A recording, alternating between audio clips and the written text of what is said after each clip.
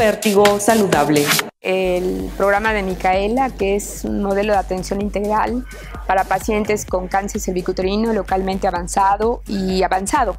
en el cual se pretende darles un tratamiento individualizado dependiendo de sus características de las pacientes. Así puede ser edad, sea que son geriátricas o muy jóvenes, o algunas otras comorbilidades. Pretendemos hacerlo de manera protocolizada y eh, individualizada, integral, con un tratamiento nutricional, un tratamiento psico-oncológico para el apoyo de las pacientes y tratamos de medir el costo económico o cuánto nos va a costar para tratar de hacerlo reproducible en otros estados. Eh, además de influir y de incluir a los tratamientos más innovadores que tenemos hasta la fecha en esta enfermedad,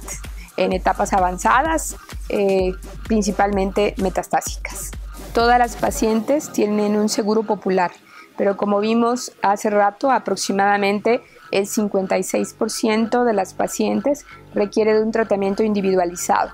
Y esa es la razón por la cual esta, nace Micaela, o sea, ayuda además. Es importante mencionar que este programa ha sido impulsado por el Instituto Nacional de Cancerología, por el doctor Abelardo Meneses y con ayuda del grupo de Equidad y Género, quien nos ha ayudado muchísimo, especialmente la diputada Lucelia Alpizar, es quien empujó en los últimos tres años eh, para que este programa pudiera ser eh, pues una realidad hasta el 6 de diciembre del 2017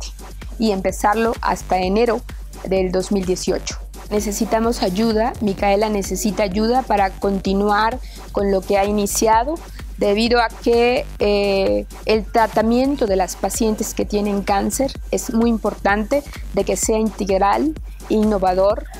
individualizado, por un lado. Por otro lado, que nos ayuden en cuanto a que Micaela también pueda influir en la prevención primaria y en la prevención secundaria en aquellas pacientes, más bien en aquellos jóvenes que no han sido vacunados. Sobre todo, vamos a empezar con la Ciudad de México y bueno, más adelante veremos de qué manera podemos extenderlo. Eh, hacemos énfasis en que la prevención y la educación, más la difusión, eh, prevención primaria y secundaria, son puntos álgidos necesarios para combatir esta enfermedad, sin olvidar que hoy es el cáncer cervicuterino, una de las primeras causas de cáncer en las mujeres en edad reproductiva y una de las primeras causas de muerte, motivo por lo cual no nos debemos de olvidar de las pacientes que hoy ya están enfermas y que requieren un tratamiento del, como lo mencionamos anteriormente,